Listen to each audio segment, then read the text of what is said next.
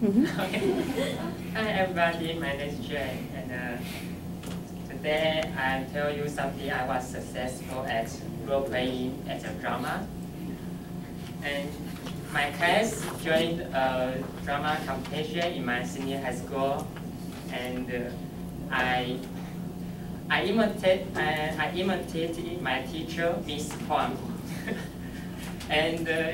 And the difficult I experience is I have to make up. You know, it's makeup is difficult to make. And I borrow the woman's clothes and the skirt, skirt, many short skirts, and the wig, and the high heel shoes.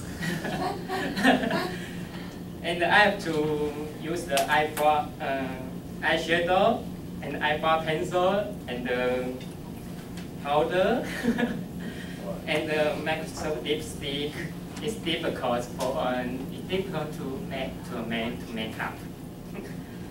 and but but when we finished, um, some people, uh, I was popular. Some people want to take a selfie with me because um, I'm, I was beautiful. and and uh, someday, some people in the in, uh, some people ask me Im imitate the Miss Huang again because I imitate like very very like my teacher. And um, I learned from these experiences. Um, don't be nervous. Don't be embarrassed. and uh, you are what you think, and uh, you are what you do. Just do it. Thank you.